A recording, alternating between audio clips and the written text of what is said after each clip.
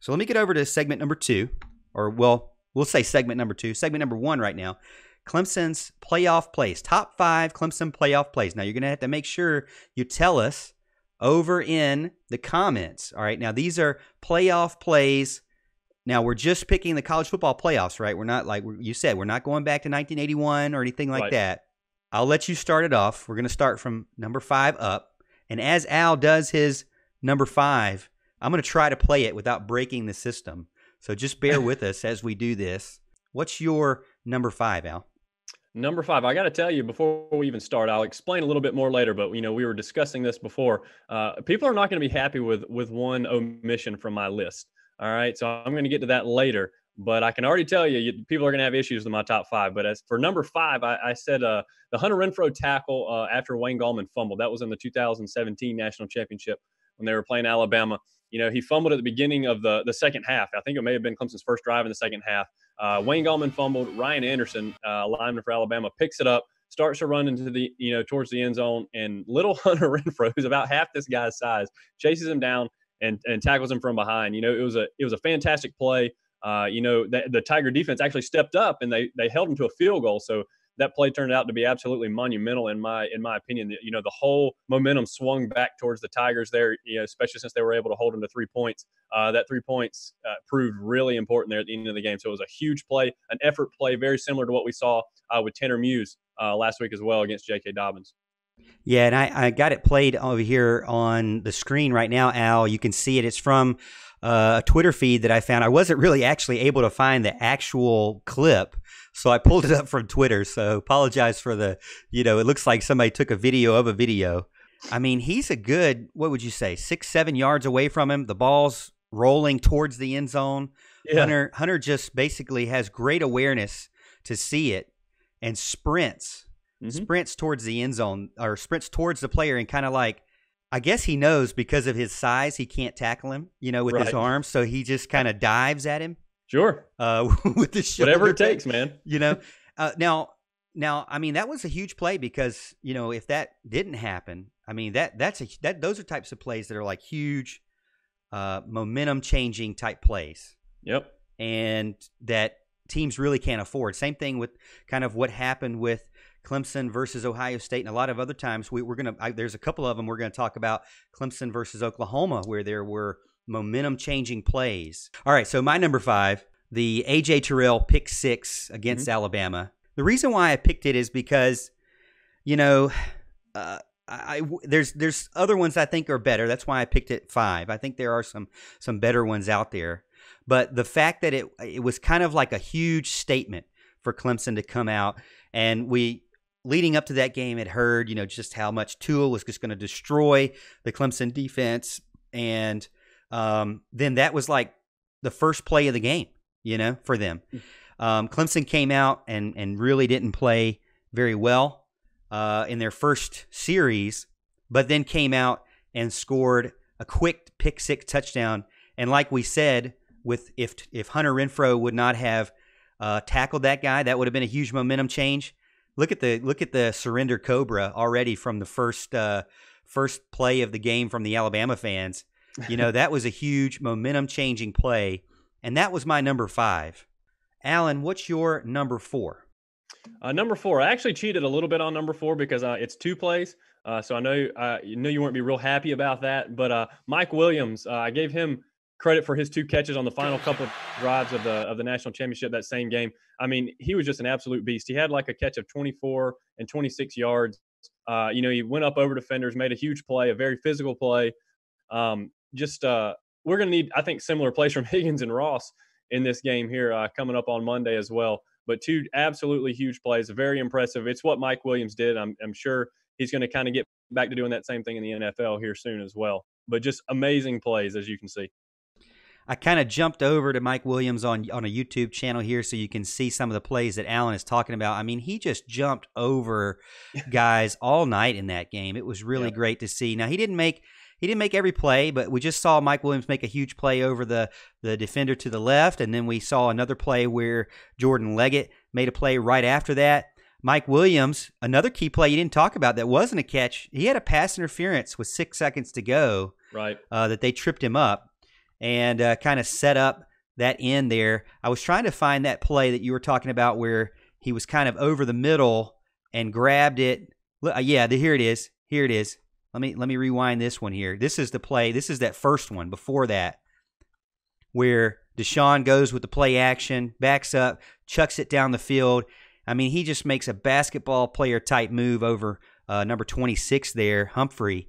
I mean, look at that. Turning his hips, looking backwards, doesn't initially catches it, has to like tip it, kind of a tip drill to himself, and then drops on the ground. I mean, man, what a great, amazing wide receiver. And Lee catches it between his legs. Yeah. On that play. What an amazing wide receiver Clemson had during that time frame.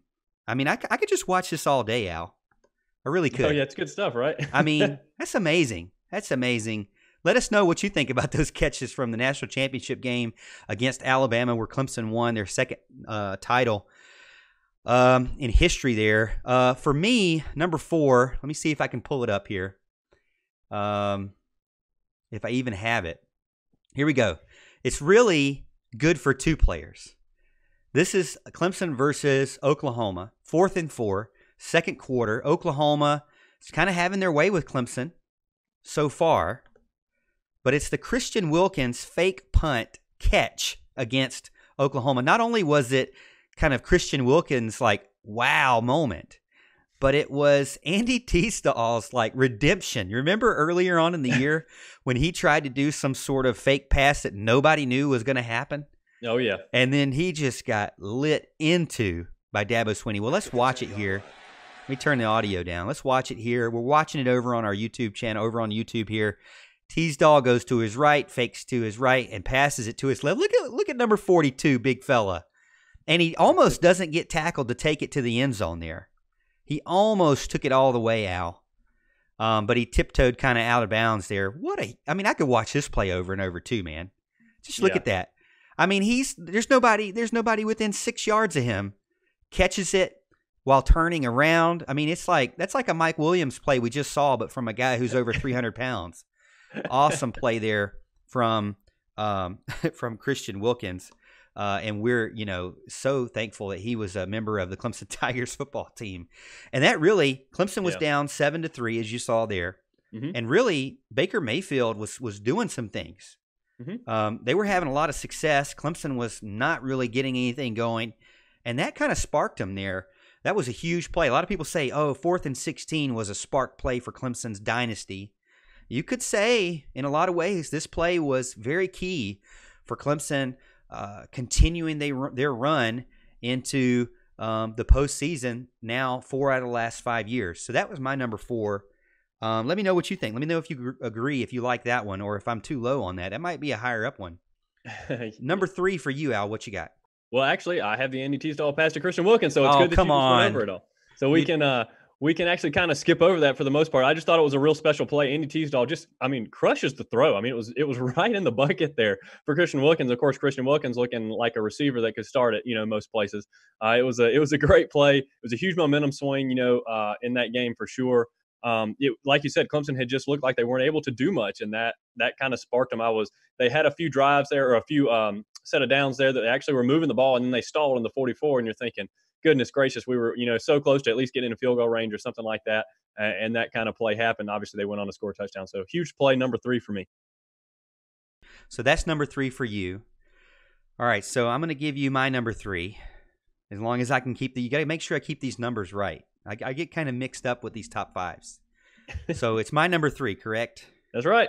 All right. So my number three, I, I, I really, I what I didn't originally have this one, but the Ohio State game was such a great game, mm-hmm. and I was going to give a lot of credit to Trevor Lawrence, the MVP, but after media day and hearing all the offensive linemen talk about how demoralizing this was to the defense of Ohio State and it was really the, the the beginning of the end for Ohio State.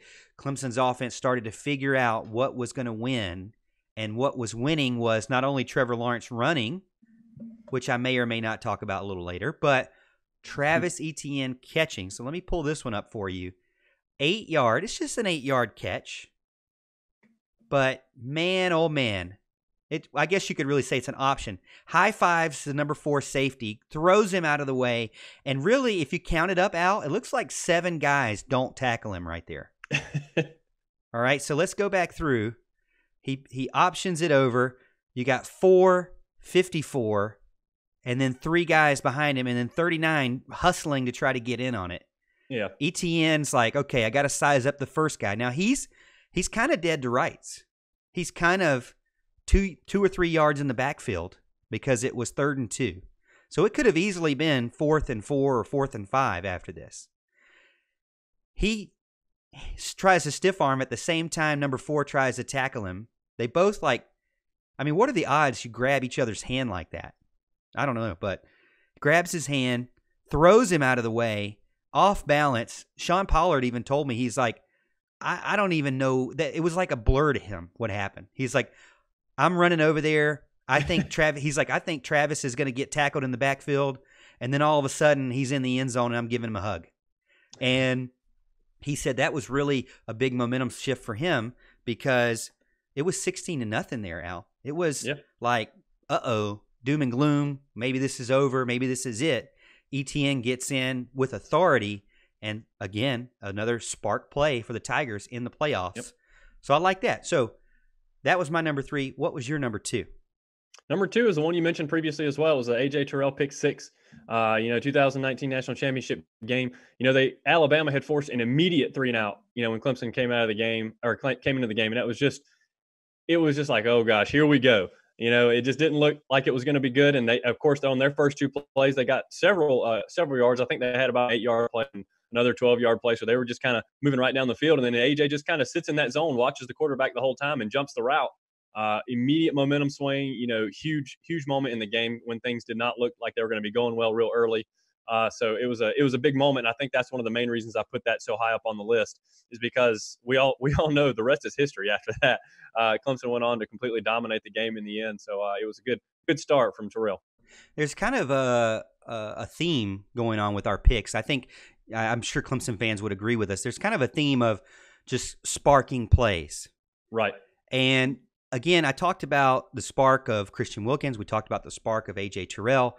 Let's talk about the spark. We talked about the spark of uh, Travis Etienne, but another spark. This was one to not only uh, you know Bill. It was just really not only not a spark to to get him scoring, but it was kind of a follow up to what we just saw with Etienne. This is my number two, and that is Trevor Lawrence's 67 yard run quarterback draw up the middle, jukes the guy out of his shoes, slips down, falls. Now, I'll tell you, the field for Fiesta Bowl was was horrible. I think was. everybody will agree, but still, it's really cool to see somebody just fall down like that. Look at his mama, so proud, proud mama moment there. You got to love that for Tre- uh, for uh, Trevor Lawrence there getting that touchdown. And he's a huge dude. Like I said, I didn't get a chance to ask him any questions today at media day, but I mean, what six foot six, Mhm. 215, 210, 215, right? I mean, he is a big, giant dude with beautiful flowing hair. And he just owns a room, man. And he he just feels like he's been there before. Like it's like it's just natural to him. He doesn't Yeah. seem to have bright eyes or or you know deer in a headlight type moments. He just kind of he's got that Deshaun Watson about him. Would you agree? Yeah, no doubt. Uh, he's definitely got that competitive spirit for sure. I mean, he he took that game over. I absolutely loved his performance in that game. Uh, you know, that's actually my number one. I want to go ahead and tell you that is my number one play, and that's another reason people are going to be upset with that li- my list. And I told you I'd explain that later, and I will, uh, because everybody I'm sure was thinking Watson or Renfrow was going to be number one on both of our lists. Um, Trevor Lawrence 67 yard run was my number one. You know, Ohio State had all the momentum in that game, even after Travis Etienne did kind of you know break through and score that incredible touchdown of his. Uh, you know, after an incomplete pass to Overton, you know Trevor Lawrence steps up into the pocket, takes off, you know, jukes the guy out of his shoes, and and gets to the edge, fakes another guy out, gets to the edge, and starts taking off. I give him a little some extra points uh, at the end because he does a little bit of a high step there to try to make sure nobody's nipping at his ankles and kind of swats him down from behind. Uh, I was very very pleased to see that because I like to see uh, runners do that. Um, I hate to see somebody tackle from behind right for the end zone, and he uh, wasn't. He didn't allow that to happen, so that was a that was a good thing. But just a a big momentum thing again, like you were talking about. It brought the the lead down to two going into half. Just in a much better position than it looked like Clemson was going to be in uh, after the early start, bad start in that game. Uh, so definitely my number one play. It probably has something to do with the fact that it's a little bit fresher in our minds as well. Uh, but a, a, good play and something that Clemson fans will remember for a long, long time. Yeah, and I'm just playing this over and over and over. uh, I hate it for the people that are going to be listening to this on podcast because you're not enjoying this. If you're listening to it on podcast and you haven't checked us out, or on the Roar, if you haven't checked us out, the video version, which is really how we started and what our main show is on Facebook or YouTube or Periscope, Twitter, you gotta you gotta check us out because man, these plays I could just watch these over and over. Yeah, I mean, you know, obviously it was a design play. He picks it, he takes it perfectly takes on the the safety perfectly. You know, baits him and then takes it to the edge, the sideline, and just follows it in with a little bit of a high step, a little bit of a bring it on, a little bit of uh, pumping up the crowd, and uh, Mama and the cheerleaders are loving it, and uh, the Tiger fans, Tiger faithful, were loving it as well. For me, for me, since you didn't do, since you didn't do the the the game winner, the Renfrow to, or, or excuse me, Watson to Renfrow, I'm going to do it for you. All right. So fans out there, if you're on, if you're on YouTube, if you're on Facebook, if you're mad about the fact that Alan didn't do Watson to Renfrow to get Clemson back into a national championship win and give them another title into their trophy case, uh, here it is. And a great, great play. They had done it earlier to, with Mike Williams and Jordan Leggett they just kind of changed the personnel, moved um, Gallman out, kind of did a little X motion there or X movement there, crossing route between Scott and Renfrow. Now, a lot of people like to call it a pick play. I'm not calling it that. I'm calling it a crossing route where the player just ran into him. Right. But I will say that it was a beautiful play. I was there. You were there. Tears flowing from my eye, man, to see that happen. And and not only that, just how historical of a moment a five-star quarterback throwing to a walk-on to win the game with 1 second to go against the juggernaut, the dynasty, a team that could not be beaten by anyone in the SEC. Um, hey, can you turn up the audio on that play? People are wanting to hear the audio. People want to hear the audio of it. All right. Well, you know, not that they if, don't love hearing you, but they really ESP, want to hear the audio. If ESPN calls me and you know wants royalties, I'm going to call y'all. All right, so here we go. all right, here we go. If Bama can hold them out, perhaps a field goal attempt for overtime.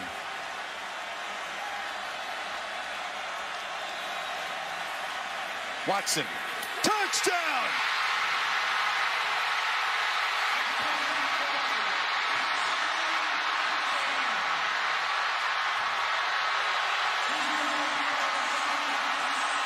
Hunter Renfrow. Little man makes another enormous play.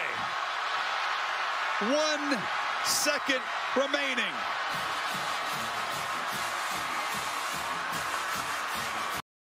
Man, I'm literally getting teared up right now. That's a big play, man. Um, what a huge, huge play. You guys, you guys trying to make me cry here. You're just trying to make me get emotional on my own show here. I appreciate it. Go Tigers, man. So much, so much of an impact that play was. That one second play. And really, to be honest with you, Al, it's more than just that one play. That drive up to it. Like you said, the Mike Williams yeah. catches. I mean, we are talking about top plays that that were part of part of that one series. And we, yeah. we really could even say honorable mention Jordan Leggett's whatever you call that backwards catch spinaroonie. Absolutely. You know, full extension, arm. brother. Yeah, that was absolute full extension. That was that was actually on my list for the longest time, and I took it off. I had honorable mention Jordan Jordan Leggett catch. You know Ross's catches. You know the one hander and the ankle breaker. You know, uh, and Deon Cain the screen pass that actually got us going in that first championship game. Um, but my, my first honorable mention, of course, was watching the Renfrow that very play there. And I'll tell you why I didn't pick that. Look, I, I went a like all out trying to pick out these these top plays and what went into my picks.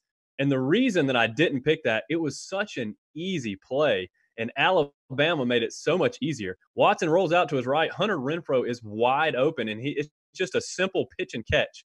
Okay. Mike Williams made an incredible catch over these defenders. You know, uh, Lawrence made moves that he wasn't supposed to be able to make and, you know, left the defensive behind. So I'm giving him a little a little extra credit there and all those other plays. Um, but obviously, what a play uh, for Clemson! What a huge moment for Clemson, and that that weighed in there uh, as far as you know making my top list. But I didn't put it on there simply because of that. Um, and I knew you were going to have that as number one as well, so I wanted to change it up a little bit. But man, it was it was great. The Alabama defender kind of engaged Artavis Scott, who was trying to make that um, make the screen, you know, a little pick play or rub route, whatever you want to call it. Uh, and it made it easy. It, it, made it wide open for Deshaun Watson to, to hit Renfrow for what will be an iconic Tiger moment for a long, long time.